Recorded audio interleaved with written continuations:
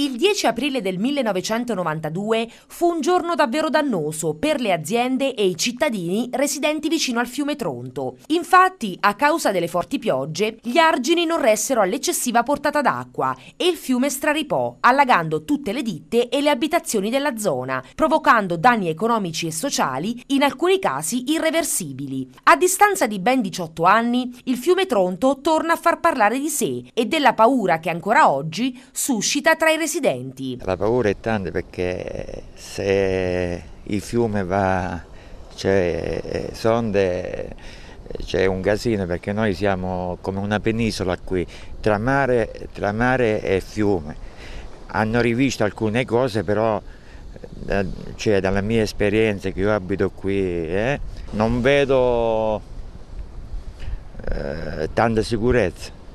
Per noi cittadini preoccupa tantissimo, non poco, tantissimo, perché noi negli ultimi anni il turismo, turismo le persone, le, ci preoccupa tanto perché qui l'inondazione ce ne sta tante. Se, e come lavoro tutto dice non ci stai soldi, non ci stai soldi, non ci stai soldi e come lavoro se ne fa poco e più passa il tempo e peggio è eh, nella foce per dire quanto si ingrossa per dire. Eh, gli alcini eh, li butta sempre eh, si vede sempre che li butta sempre da una parte così no e poi rimangono in quella maniera lì nonostante sia passato un anno e mezzo dallo spezzamento dell'argine sul versante nord del Tronto nessuno si è ancora fatto carico del problema in prossimità della foce infatti la sponda marchigiana risulta sfondata e pone la città di Martinsicuro in una condizione di pericolo allagamento momenti. Il problema è il, il lungomare, il mare, qui le scogliere, capite?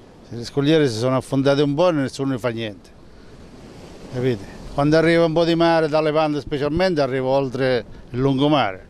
L'unico ad essersi interessato della questione esondazione è stato il consigliere di minoranza del PD Mauro Paci, che in una lettera inviata agli enti preposti ha chiesto di verificare la sicurezza degli argini. Ad oggi la situazione è rimasta invariata e la zona del fiume Tronto non è ancora stata messa al sicuro.